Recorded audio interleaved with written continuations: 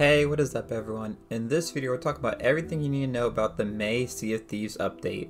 And as you can see right now, I got some of the stuff from the Emporium. That's our first big update. I'm not going to go and talk about those too much just because I basically had a bunch of videos came out this morning covering all the different sets that came out. So if you're interested in any of this stuff, definitely go check out those before you buy guides.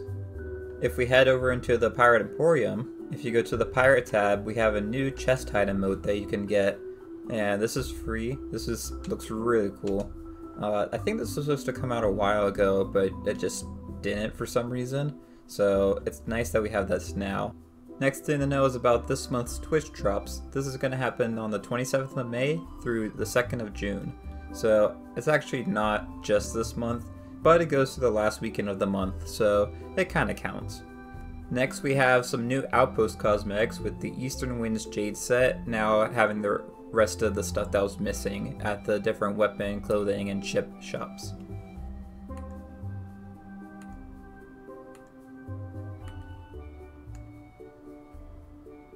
We also have down in the Pirate Legend hideout, you can buy new Dark Adventurer tattoos.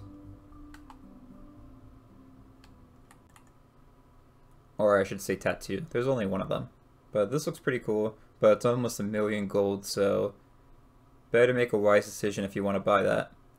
Alright, so we got some gameplay improvements in this update. First, starting with Megalodons have been returned to the game so they can basically you can find them randomly out in the water. It was disabled during the Shrouded Deep adventure, but that has now ended, so all the Megalodons are back in the season. You can randomly find them. You also see the skeleton fleet spawn again with the ominous ship cloud in the sky, letting you know that you can go do that world event.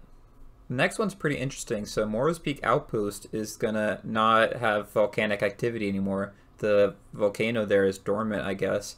And so if you're going to sell there, you won't have any problems anymore. That's a really nice update because it was really annoying that the closest outpost was always under like volcanic ash and having stuff fly down and stuff while you're trying to sell. Alright, so the next one's another nice one. So Sirens will now take longer pauses between using their abilities to give players more room to breathe between attacks. I feel like every time we get an update with the Sirens involved, they just keep getting more and more nerfed. I feel like at a certain point they're just gonna like disappear completely. This next one might upset some of you, but the Legend of the Veil Haunted Islands are being balanced so that the Brigantine and Galleon crews will now encounter more phantoms while fighting on the Haunted Islands. So this is to help balance it compared to solo and duo crews.